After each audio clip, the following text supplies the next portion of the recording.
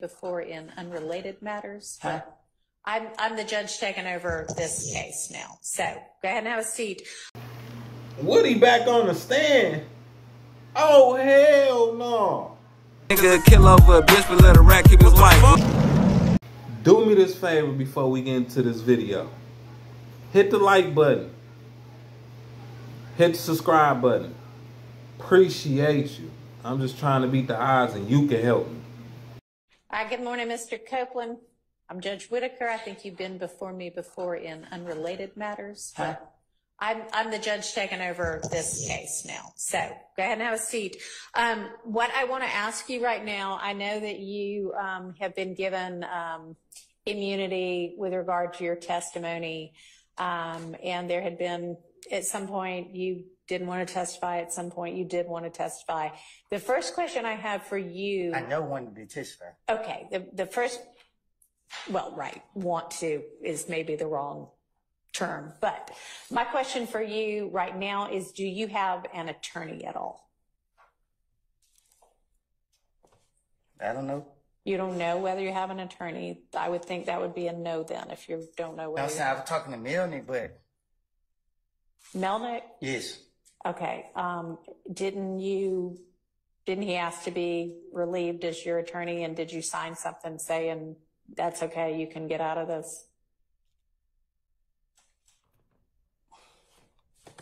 I don't. I don't. You don't remember? Okay. Does anybody know whether that actually occurred? I don't believe it occurred. I, Okay. I believe that Miss Bumpus, um, I know she was stand-in and she was standing and, and I believe something was said on the record to the effect that Miss Bumpus was, was relieved. But Yeah, I know don't- she was, There was nothing about Mr. Melnick to my knowledge. okay, maybe we, There was, Miss Miss Bumpus actually said um, yesterday, I believe, during her testimony that Mr. Melnick had directed her to tell Mr. Copeland that uh, he could either exercise his, you know, well, could do she's one not to testify. right, or if he chose to testify, according to Ms. Bumpus. Yeah, I remember she said, there's this paper I'm supposed to get him to sign. I'm trying to figure out whether it got signed. So I never got Mr. Melanie off my case. Okay, so he's still your attorney then? I guess. Okay, all right. Well, then that's the answer we've got for that. All right, so um,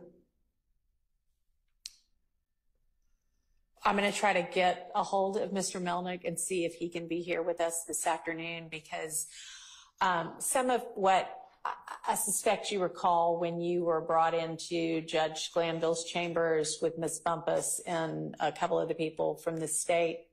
And um, there was a discussion that Ms. Bumpus and Ms. Hylton and Judge Glanville had with you. You asked some questions. They gave you some information. Some of that information was not actually factually correct.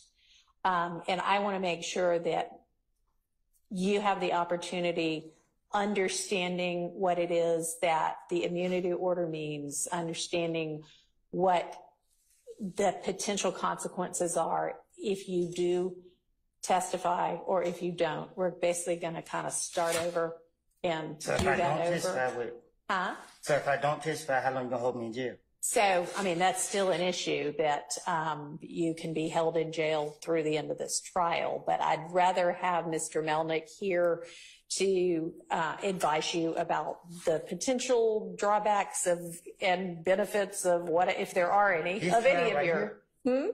To the end of this trial, Yes. Not the other people. Not as far as I believe, but the state, what, did you want to do some further research on that? Yes, just to advise the court Okay. of. Okay, so I just wanted to know, first off, do you have an attorney? Because if you do have an attorney, then your attorney may have some information, advice, and research for me about that. So I want to make sure that I tell you the correct thing about that, okay? So um, we're going to take a lunch break in a little while, and why don't we plan to have you back here on standby at least. Um, I don't know who was in communication, but we need to reach out to Mr. Melnick, to see what his availability is. Um, so just be on standby in case I need you here like at, at two or three this afternoon. Two or three? Yeah. Because we're about to take a lunch break before too much longer. Um, so you're, you're okay to leave for the next couple of hours, but stay where the whomever reached out um, from the state can reach you to let you know whether you need to be back here this afternoon or potentially t- tomorrow instead. Okay. All right. All right. Thank you.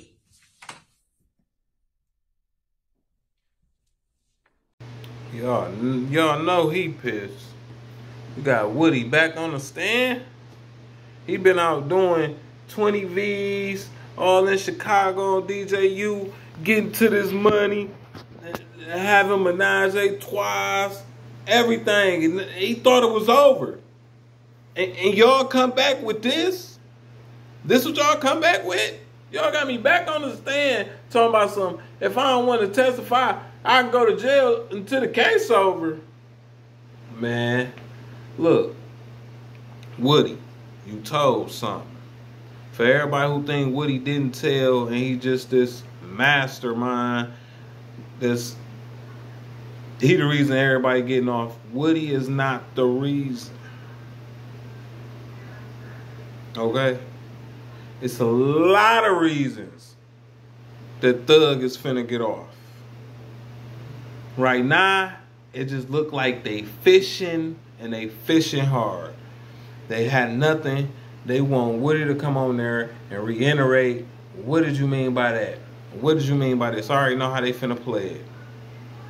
And in fact, Woody been on fire on the internet with all the interviews and everything. So he gonna get up there and he's gonna play.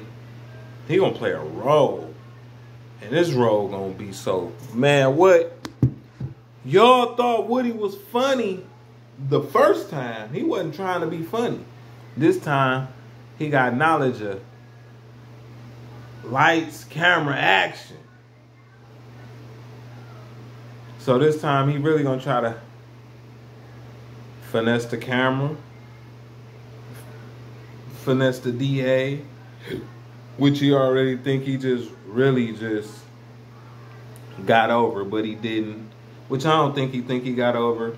I think that he know what he did, which was told put people in a bad situation, and he making the best of his situation with being free, which I can't be mad at that because that's y'all rat and y'all letting it go like that, which is people in my hood that people just let it go like that. So what I'm saying is it's the year of the rats.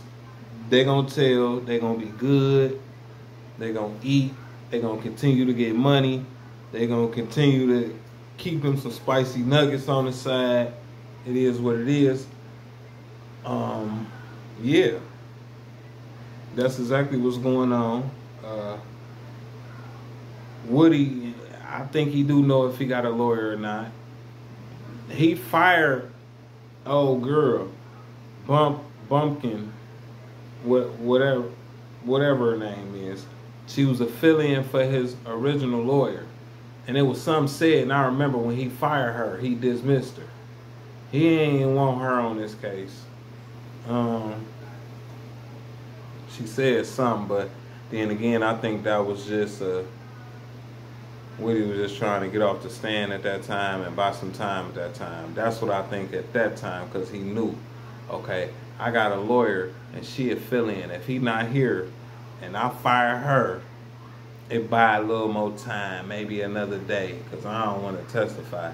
Because they had his back against the wall where he had to pretty much say what they corner him in the sand at that time. So, but y'all leave a comment. Y'all let me know what y'all think about this. Leave a comment, hit the like button, hit the subscribe button. I'm just trying to beat the odds, and you can help me. You can help me. Hit the like button.